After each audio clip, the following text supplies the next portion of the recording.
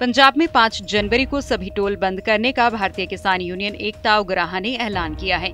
सभी टोल दोपहर 12 बजे से 3 बजे तक बंद किए जाएँगे। बीकेयू एकता उग्राहा ने यह फैसला किसान मजदूर संघर्ष कमेटी की मांग पत्र पर सहमति जताते हुए लिया है।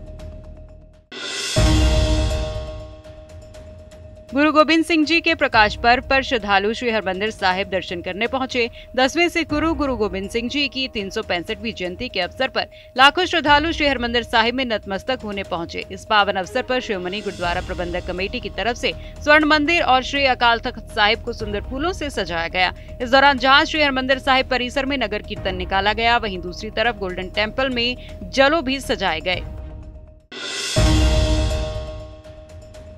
खन्ना में बच्चों से भरी स्कूल बस को ट्रक ने टक्कर मार दी। बस में करीब बयालीस बच्चे सवार थे, जिनमें से दो गंभीर रूप से घायल हुए। जब बस खन्ना जीटी रोड पर पहुँची तो अचानक बस का टायर पंचर हो गया, जिससे बस का ड्राइवर टायर बदलने जा रहा था, लेकिन पीछे से एक ट्रक ने बस को जोरदार टक्कर मार दी।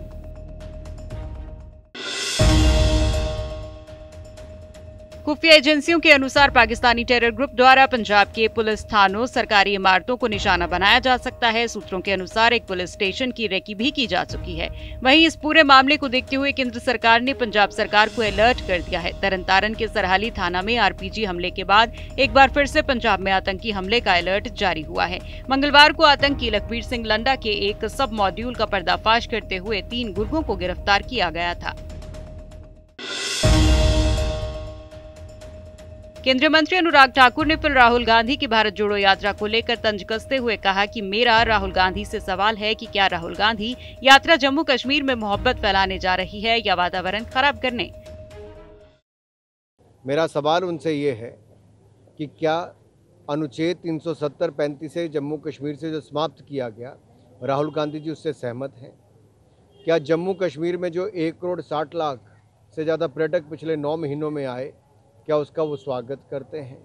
क्या जम्मू कश्मीर में जो पथराव की घटनाएँ बंद हुई और आतंकवाद के खिलाफ कड़ी कार्रवाई हुई 370 पैंतीस से हटने के बाद क्या राहुल गांधी जी उसका स्वागत करते हैं?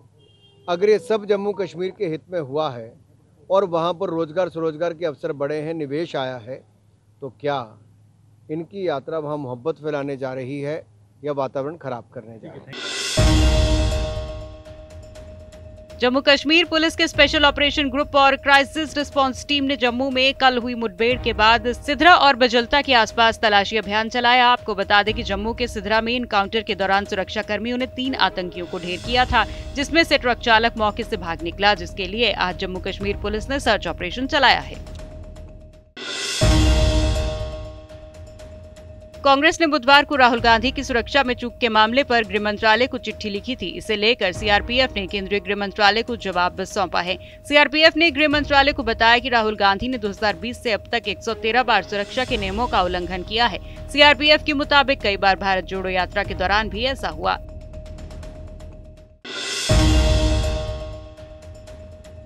कांग्रेस ने राहुल गांधी की सुरक्षा में चूक के मामले पर गृह मंत्रालय को चिट्ठी लिखी थी, जिसके जवाब में सीआरपीएफ ने आज जवाब सौंपा है। सीआरपीएफ ने बताया कि राहुल गांधी ने 113 बार सुरक्षा के नियमों का उल्लंघन किया है, जिस पर भाजपा नेता मंजिंदर सिंह सिरसा ने कहा कि सीआरपीएफ ने आज ये साफ़ किया कि नियमों का उल्लंघन राहुल गांधी की तरफ़ से हुआ है, और वो भी एक सौ तैंतीस बार चिट्ठी लिखकर। वेणुगोपाल ने न केवल सीआरपीएफ का मनोबल गिराया है, बल्कि सिक्योरिटी के मुद्दे पर राजनीति भी की है। वेणुगोपाल जी ने जो राहुल गांधी की सिक्योरिटी को लेकर देश के गृह मंत्री जी को खत लिखा और यहाँ तक कह दिया कि राहुल गांधी के पास एडुकेट सिक्योरिटी नहीं है वायलेशन हुई हैं। आज ये सीआरपीएफ के जवाब से स्पष्ट हुआ कि वॉयलेशन हुई है तो राहुल गांधी की तरफ़ से हुई है और वो भी 113 बार हुई है 113 बार। और इन सभी वायलेशन की जानकारी राहुल गांधी को बार बार दी गई। इसके बावजूद सीआरपीएफ उनकी मुस्तैदी से सुरक्षा करती रही। और जो राहुल गांधी ने ये स्टेटमेंट दी और वेणुगोपाल ने चिट्ठी लिखकर, न केवल सीआरपीएफ का मनोबल, अपनी फोर्सेस का मनोबल गिराया, उनको डिमीन किया, बल्कि ये टॉरिक स्टेटमेंट मीडिया में रहने के लिए थी। यह भी बड़ा स्पष्ट हुआ कि वेणुगोपाल जी राजनीति कर रहे थे सिक्योरिटी के नाम के ऊपर सिंपति लेने की कोशिश कर रहे थे, क्योंकि ये भारत जोड़ो यात्रा एक विफल यात्रा साबित हो रही है। वो न्यूज़ पे खबरों में रहने के लिए ऐसी होच्छी हरकतें कर रहे हैं।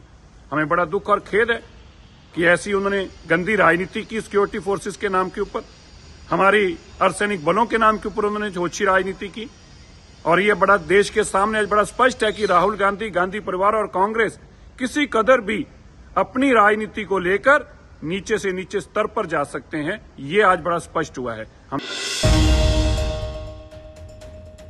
किसान नेता राकेश टिकैत बठिंडा पहुँचे, वहाँ उन्होंने मीडिया से बातचीत की और कहा कि 26 जनवरी को देश भर में ट्रैक्टर मार्च निकाला जाएगा।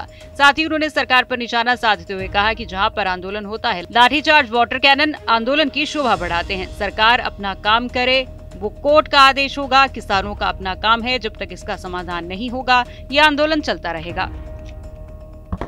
देखो, जहाँ पे आंदोलन होता है, लाठीचार्ज गैस, वाटर कैनन ये तो शोभा बढ़ाते हैं आंदोलनों की। सरकार अपना काम करे, वो कोर्ट का आदेश होगा, किसानों का अपना काम है, ये तो चलता रहेगा। जब तक उसका समाधान नहीं होगा तो ये आंदोलन जारी रहेगा, वापसी नहीं होगा आंदोलन। समाधान से ही वापसी होगा।